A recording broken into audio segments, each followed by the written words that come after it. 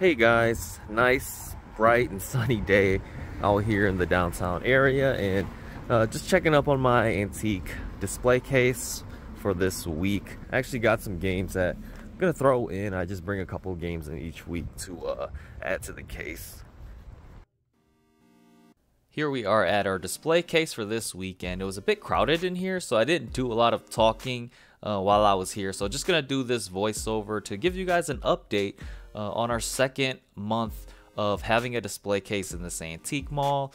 I'm not going to spoil you guys the total amount that we've sold so far. I'll probably wait till um, the end of the month to give you guys all the numbers and how much we made. But I can't say we started off amazingly for this month. We actually hit our $200 mark and it's only halfway through the month. So hoping to continue with our sales for the end of the month.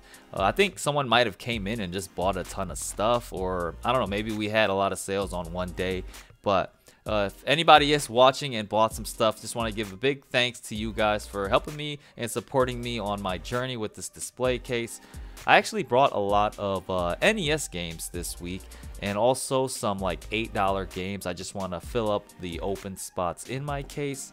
Um, and the plan is to just bring a couple games each day or each week that I come in uh, to check on the case. I brought some PlayStation 2 games. You got The Hobbit and the Star Wars Starfighter games. These games go for around like 8 bucks. So we'll be adding those in and also brought some Wii games, some Mario games I feel like are great for the display case. But I think it's really important just to keep on loading up this case, especially when I do get a decent amount of sales. And this is what we have now after filling up this display case. Added some more Mario games. Added some more higher end games to the case as well just to add some variety. And then stacked up on these cheaper games, these $8 and $5 games.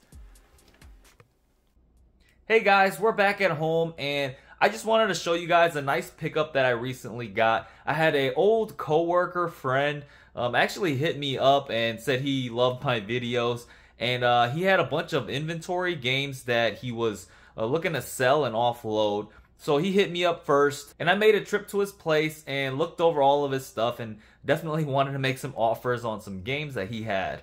Unfortunately, I did not get to record like anything over there. I probably should have, but I did come away with this uh, box of stuff and I'm just going to go over it with you guys. Reason why I'm showing you guys in this video is because I'm planning on putting a decent amount of this stuff in my display case. And just to show you guys how I kind of source some of my items, how much I paid for stuff, and how much I actually do get to profit. My friend is actually a older generation player. He grew up in like the 80s and 90s, so he doesn't collect a lot of the newer stuff.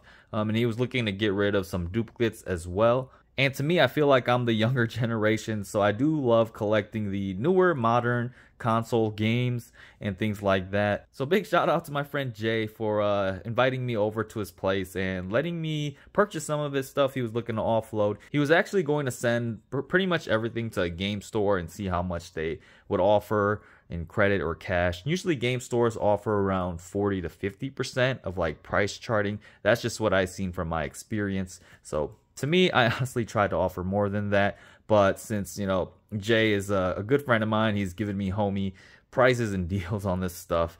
Let's go ahead and open this up.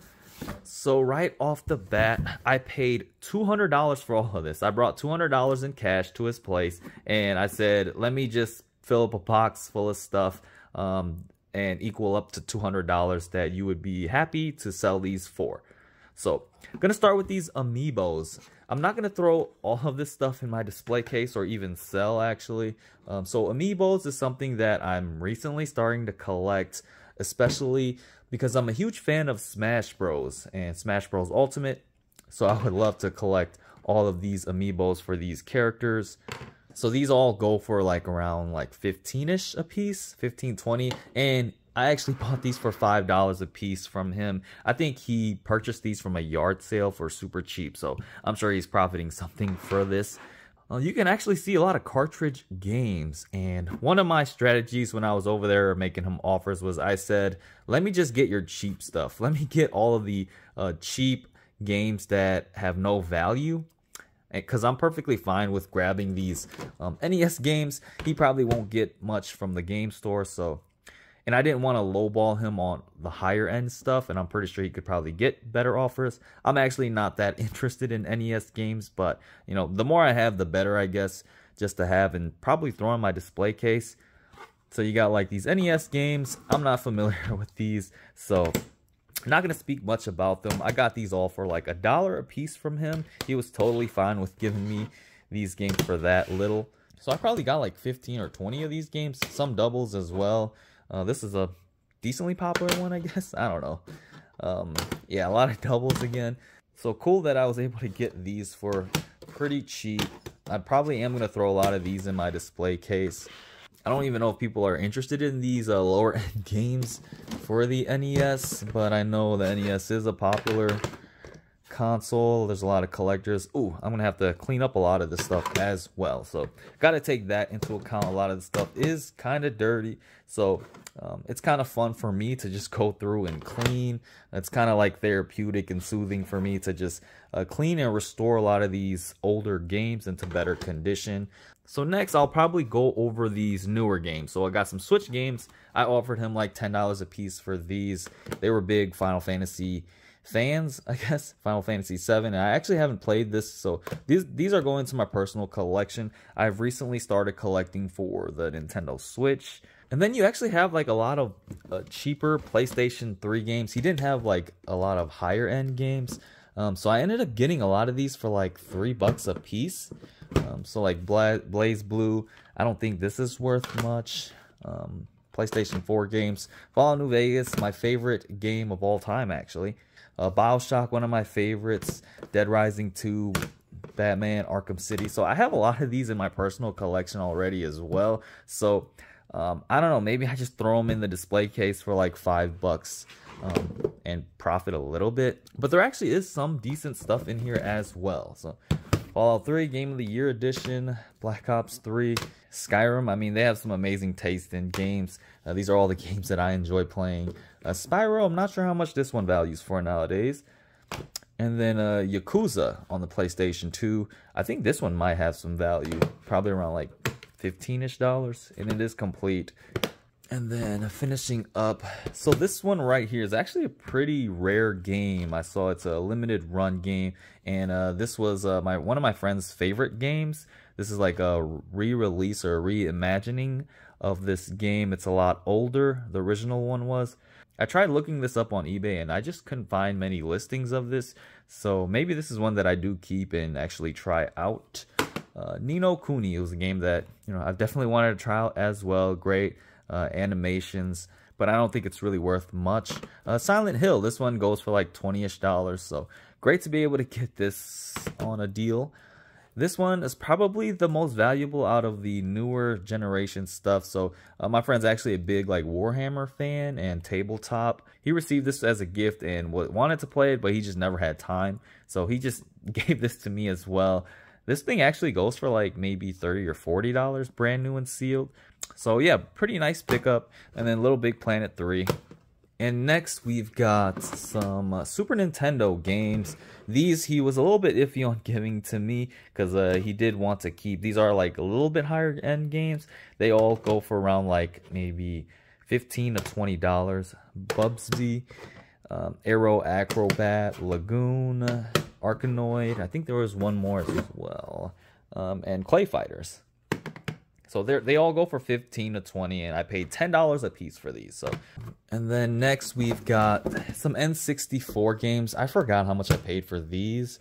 Um, we got Namco Museum. You got Diddy Kong Racing, really popular one. I think I just sold this one in the uh, display case as well. Star Fox 64, Army Men, and then this one he gave to me for free uh, Star Wars Shadow of the Empire. He said this one wasn't working, so I'll work on cleaning this up and seeing if I can get it to work. And then lastly, he had a bunch of controllers, and I told him that, you know, I do pretty well with controllers in my display case. So uh, one of the things is I'm going to have to clean a lot of this up. He said that these were all working. So I'll clean them up and test them. And uh, if they do work, I'll throw these in the display case. I actually got all of these for $2 a piece. Uh, he was totally fine with giving it to me for that much. He didn't want to deal with these. I don't know how much game stores offer for PlayStation 2 controllers. This is actually a PlayStation 3 controller. Uh, again, really dirty. The uh, sticks are really sticky. So, yeah, about like five controllers, uh, even a PlayStation 1 controller. Yeah, definitely gonna have to clean these up. But that's pretty much everything that I got for $200. Just wanted to show you guys. Gonna throw a decent amount of this stuff in my display case. But really happy that my friend reached out to me. I haven't seen him in like years. Um, ever since college, we worked on campus together, uh, doing like classroom support. And he had a ton of great stuff to show me and to sell to me. Gave me amazing deals. So again, big thanks to my good friend Jay. Before I end off the video, just wanted to go over some updates and talk to you guys about some of the behind the scenes stuff I do uh, when setting up for my display case and even selling at like conventions and things like that. I always clean all of my games. Uh, just cleaned all these controllers. They look a lot nicer now. I didn't test this one out, but I did test all of the PlayStation 1 and 2 controllers, and one of the controllers did not work. Not sure what to do with those controllers that just don't work, but the rest of these are looking good and do seem to be working. All the games I cleaned up, just wiped it with some Clorox wipes. Uh, I organized these in piles of uh, what I will be pricing these as. So like $5 games, these will be like $8 games, and these will be like $10 games. For the Nintendo cartridge games, I do clean them all up and clean the pins with some isopropyl alcohol and I do throw them in these plastic bags. They just look a lot nicer and gives me um, some space to put these stickers on them without actually ruining it. I guess for the NES cartridges, they're a lot bigger, but for like N64, Super Nintendo, it's a little harder to stick like stickers on them. Picked up these uh, removable sticker labels. These are like a dollar a piece. Uh, you can find them anywhere. I think I got this at Walmart. And I picked up these plastic bags on Amazon, got more stickers right there. So I'll just be going through and labeling everything now so I can include in my display case.